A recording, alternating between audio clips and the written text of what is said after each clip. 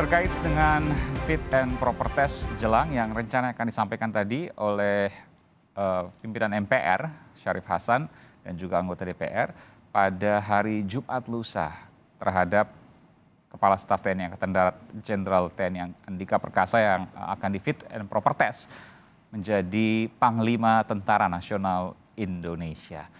Saya sudah bersama dan kita akan lanjutkan dengan sejumlah narasumber saya, Daniel Anzar Simanjuntak, juru bicara Menteri Pertahanan, kemudian ada Syarif Hasan, anggota Komisi 1 DPR dari fraksi Partai Demokrat yang juga pimpinan MPR, lalu ada Ridwan Habib, pengamat militer dan keamanan.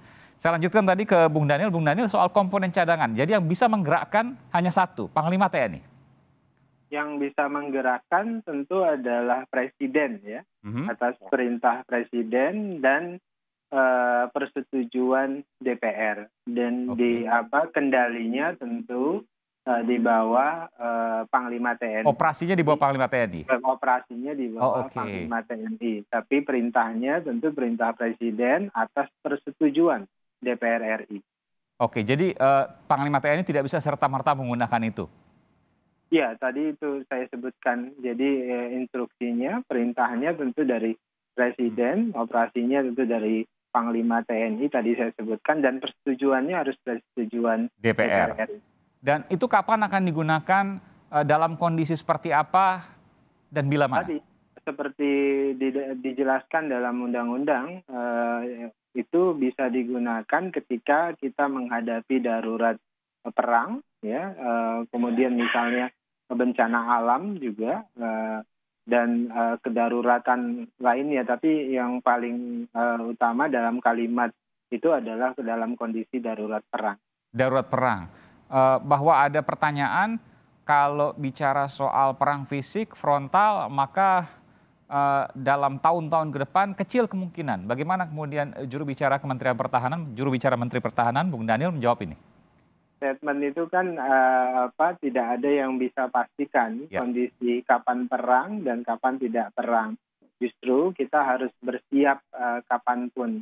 Jadi uh, bukan justru kemudian mempersiapkan diri ketika ada perang, tapi justru harus mempersiapkan diri dalam kondisi damai. Jadi ketika terjadi perang dan kondisi darurat lainnya kita sudah siap. Jadi jangan sampai kalau analoginya kita baru bersiap diri ketika datang banjir, tapi kemudian ketika tidak banjir kita diam saja dan ngomong kan tidak akan ada banjir uh, beberapa tahun ke depan. Jadi sebenarnya itu analogi dan nalar yang paling sederhana saja begitu. Jadi uh, kita harus bersiap justru dalam kondisi damai karena bersiap dalam kondisi damai tentu uh, lebih paripurna dibandingkan kita gerasa gerusu bersiap dalam kondisi darurat. Ini grup pertama sudah dilakukan pelatihan, akan dilanjutkan dengan grup-grup lainnya? Ya, jadi uh, apa tahun depan rencananya 2.500 uh, apa gelombang kedua ya okay. 2022 dan uh, dilatih selama tiga bulan. Oh, jadi tiap tahun uh, satu kelompok begitu ya? Tentu uh, berdasarkan apa berdasarkan anggaran yang disediakan okay. tentu juga nanti apa atas perintah presiden dan komunikasi dengan DPR. Oke, saya ke Pak Syarif. Pak Syarif, ada yang baru yang kemudian dihadapi oleh Panglima TNI saat ini. Selain tadi ada tantangan yang kita akan uh, bicara nanti soal geopolitik dan sebagainya, tapi ada uh, komponen cadangan, kekuatan uh, militer yang baru yang berasal dari warga sipil yang belum pernah ada sebelumnya, apalagi sepanjang masa reformasi. Ada ada catatan soal ini, Pak Syarif?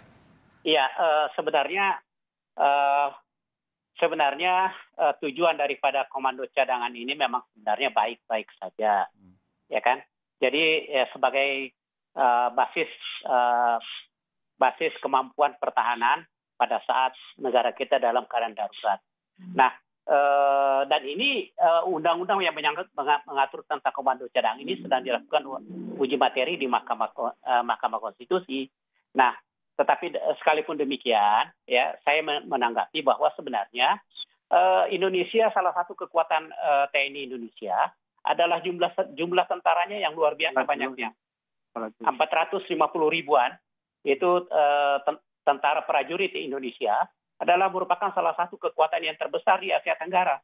Jadi kalau dari sisi uh, manpower kita cukup unggul. Tapi kan negara nah, kita paling besar di Asia Tenggara. Paling, paling besar, paling besar. Jadi tidak perlu ada yang ditakutkan sebenarnya, ya tidak perlu ditakutkan. Ya, artinya dengan nah, jumlah segitu harusnya cukup atau memang butuh komponen cadangan? Sangat bu, sangat sangat cukup, jauh daripada cukup. Tetapi kalau komando cadangan ini mau, di, mau dilanjutkan ya itu sah-sah saja karena memang sudah ada undang-undangnya. Tetapi lagi-lagi saya ingatkan ini sudah dilakukan uji materi di Mahkamah Konstitusi. Oke. Namun, kalau kalau, lagi, kalau cukup berarti nggak perlu komcat dong, nggak perlu komponen nah, cadangan. Itu saya katakan, saya ingin mengatakan lagi, hmm? saya ingin mengatakan lagi dalam era era perang di era era teknologi yang canggih saat ini itu eh, kalah atau menangnya dalam peperangan itu hanya dihitung dalam sekejap saja. Di dalam hanya tidak lebih dari berapa eh, berapa jam aja sudah sudah ketahuan siapa negara yang kalah, siapa negara yang menang. Kalau terjadi peperangan, ya kan? Jadi teknologi. Di, di mana logikanya ya? Pak Sarif? Ya. Di mana logikanya ya, bahwa ketika terjadi perang maka hanya hitungan jam saja ini? Iya, teknologi. Jadi alat sistem yang kita yang miliki itu yang yang dimiliki oleh satu negara itu menentukan. Ya, salah satu contoh bisa saja dari dari dari Singapura misalnya, katakanlah uh, uh, pesawat F-35 dari Singapura yang begitu banyak di mana kita belum memiliki. Itu ya. dalam sekejap bisa meruntuhkan pangkalan-pangkalan kita. Oh. Lata-lata apa uh, uh, instalasi militer, instalasi militer dan proyek strategis kita. Jadi lagi-lagi saya lebih cenderung, saya lebih cenderung untuk memperkuat alat alutsista kita. Oh. Nah ini ini minimum essential force itu betul-betul harus didorong agar anggaran untuk TNI kita dorong supaya betul-betul di atas di atas satu persen dari PDB. Ya, paling nggak satu setengah persen. Sebenarnya yang paling bagus adalah dua persen. Sekarang ini masih di bawah satu persen. Nah, kalau itu kita dukung, maka kita modernisasi alutsista kita. Jadi maksud Anda bahwa uh, membuat komponen cadangan, ya kalau dikatakan tidak salah arah, tapi kurang tepat, tidak prioritas, lebih baik ke alutsista. Seperti saya katakan tadi, ini masih pro dan kontra. Ya, ada yang mengatakan perlu, ada yang mengatakan tidak. Justru itulah kita lihat ada yang melakukan uji materi di Mahkamah Konstitusi. Oke. Okay. Nah, nah yang menjadi persoalan, menjadi persoalan adalah bagaimana meningkatkan kesejahteraan prajurit. Kalau prajurit itu tidak disejahterakan, jaminan perumahannya, jaminan laut pautnya dan sebagainya, hmm. maka bagaimana mereka akan berjuang mempertahankan negara ini? Nah itu yang harus kita perhatikan, itu harus kita tingkatkan. Oke, Bung Daniel ya. ada jawaban soal ini? Iya, perspektif itu uh, apa terkait dengan perang teknologi dan macam-macam betul, tapi uh, pada dasarnya komcat atau komponen cadangan itu kan uh, kesatuan dalam satu sistem ya, uh, sistem yang kita butuhkan. Misalnya ya dalam satu pertempuran atau dalam satu perang, memang tahap pertama ada teknologi di situ, kemudian ada uh, penguasaan laut di sisi lain, penguasaan udara, tapi jangan lupa uh, pada akhirnya tentu semuanya kembali pada pada darat dan infanteri dan sebagainya. Jadi dia jadi satuan sistem lah. Nah di sisi lain memang ya kita tentu uh, berkomitmen misalnya berharap Pak Menhan, Pak Prabowo dalam hal ini kemudian bersama dengan Panglima berkomitmen terus untuk memodernisasi alutsista apalagi uh, kalau apa Pak Andika kita saya kami yakin betul memiliki pemahaman dan chemistry yang sama terkait dengan modernisasi alutsista.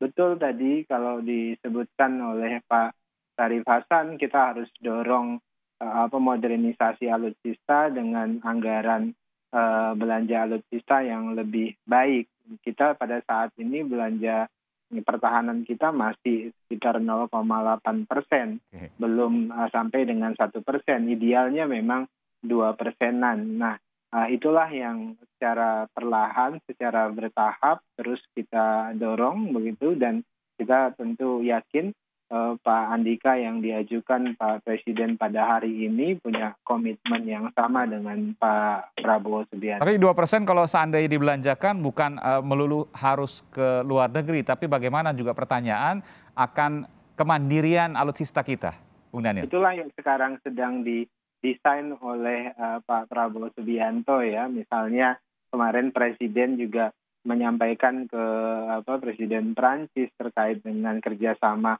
pertahanan militer, kerjasama militer dan pertahanan dengan Prancis. Desainnya kita berharap joint production ya. Bahkan Pak Prabowo mendorong produksinya dilakukan di dalam negeri hmm. dan itu yang sedang sudah ditandatangani dengan Inggris dan juga dengan Prancis bagaimana alutsista-alutsista kita bisa uh, diproduksi bukan hanya beli begitu saja bawa barangnya ke Indonesia tapi kemudian teknologinya dan sebagainya itu dibawa ke Indonesia kemudian diproduksi di Indonesia dengan bekerja sama dengan industri uh, pertahanan kita yaitu BUMN BUMN kita kemudian diproduksi di sini kemudian ya. ada alih teknologi dan anda yakin bahwa ini satu ke depan, uh, ke depan rencana Kemenhan uh, ini para ya rencana men kita punya kapasitas yang sama dengan luar okay. negeri tersebut. Dan Anda meyakini bahwa rencana Kementerian Pertahanan lewat menterinya Pak Prabowo Subianto ini satu napas dengan